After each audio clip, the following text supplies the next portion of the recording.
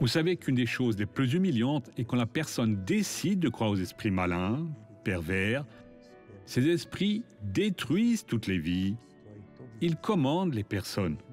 Ils ont commandé Judas, et Judas s'est allongé à terre pour pouvoir être béni. Pour pouvoir être béni, mais elles ont été maudits, parce que Dieu ne veut personne allongé à terre. Dieu vous veut debout. Le roi de Juda a été arrêté par notre roi et après lui rester agenouillé pour qu'il lui marche sur le dos et monte son cheval. Ainsi ils ont souffert.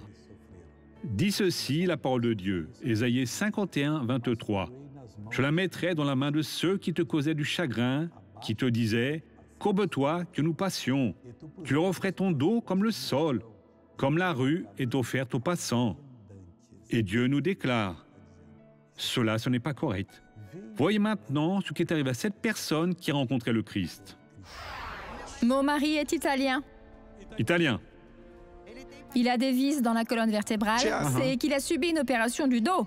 Et après cette chirurgie, il a toujours senti de fortes douleurs. Ça fait déjà un an. Depuis combien de temps? Il est né avec une paralysie spasmodique sur le côté gauche à la main. Et maintenant, qu'est-ce qui va mieux? Toute la partie gauche, main, pied, tout était paralysé.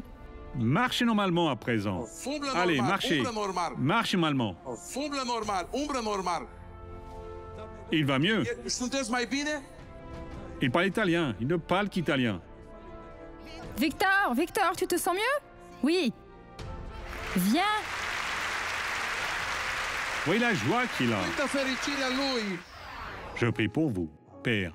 Je touche dans cette personne. Je réprimande ce mal qui est dans son œil, brûlant, faisant trépider l'œil gauche. Je dis mal, va-t'en dès la présent, au nom de Jésus. Et vous dites, Amen. Dieu vous bénisse.